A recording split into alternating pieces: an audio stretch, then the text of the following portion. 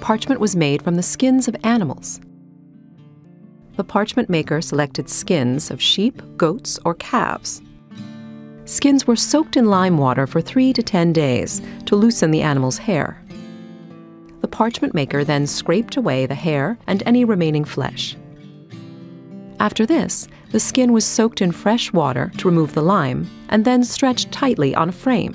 A special rounded knife was used to scrape the hide to the desired thickness. The result was parchment, a smooth and durable material that could last over a thousand years. Before parchment could be written on, it had to be specially prepared. First, the parchment was rubbed with pumice powder to roughen the surface, and then dusted with a sticky powder. These steps made the surface receptive to inks and colors. The whole finished skin was then cut down to the size of the pages needed for a particular book. The parchment sheets were folded and nested to make gatherings, usually of 16 or 20 pages. The vibrant illuminations in a medieval manuscript often overshadow the words on the page, yet the writing of the script was as important as the painting of the images. The tools of a scribe the person who copied the text onto the page, were simple. Pens, called quills, were made from the feathers of a bird, which were soaked in water, dried, and hardened with heated sand. The scribe carved the quill to a rough point, cut a slit to draw ink down, then trimmed the point to the proper width. The shape of the quill point varied with the style of the lettering being copied scribes made ink from a variety of materials. Gall nuts, growths found on oak trees, were often used to create a dark black ink. Black ink was also made by dissolving a common carbon substance. The resulting ink was called lamp black. Before the scribe began writing, he ruled the parchment using a straight edge. An illuminator decorated the pages of a manuscript using paint and precious metals he began only after a scribe had finished copying the text.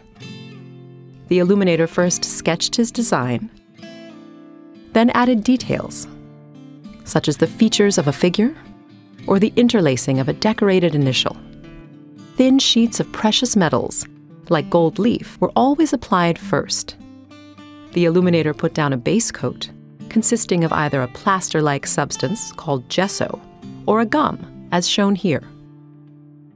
Once the gum base dried, the moisture in the illuminator's breath was enough to make the small piece of gold leaf stick to the page. Then the illuminator brushed away the excess and polished the gold leaf. After applying the gold leaf, the illuminator painted his design. Each color was made from a vegetable dye or a mineral substance ground up and dissolved in liquid.